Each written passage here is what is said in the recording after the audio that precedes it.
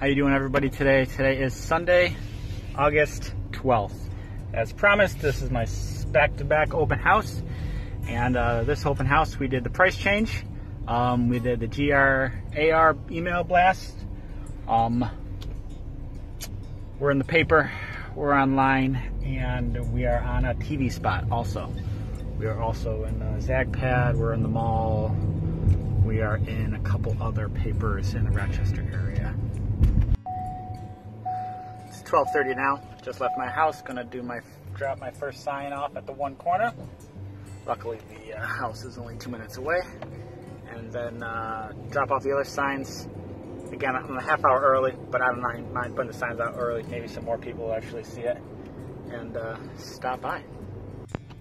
The most annoying thing about doing open houses is uh, setting out and picking up the signs.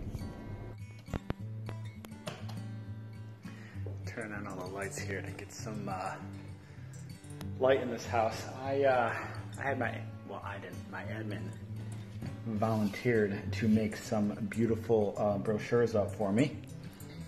These are the ones, nice and big. Open them up, all the pictures in them look great. Um, I made the ones before. I made smaller ones. I do not like the smaller ones as much as I like the, like the big ones for sure. So I'm just gonna clean up my paperwork that I don't need anymore. Put out the new brochures. Um, 15 minutes early. Like I said, we did some more advertising for this open house with the um, ZagPad and the uh, TV spot. So I'm hoping to get some more people. Maybe pick up a buyer, which would be great, and sell this, which would be also great. Wish me luck. All right, I just picked up for my last sign. And uh, when I put the sign out there, it didn't have a balloon on it. And when I came back two and a half hours later, there was a balloon tied to it. I don't know who the culprit is, but I will find you. Anyways, I uh, first 45 minutes of the open were extremely boring. Not one person. Of here. Anyways, not one person came through. But then within the next 45 to 50 minutes, I think seven groups of people came through. Two families, maybe a couple, but then single people from there on out.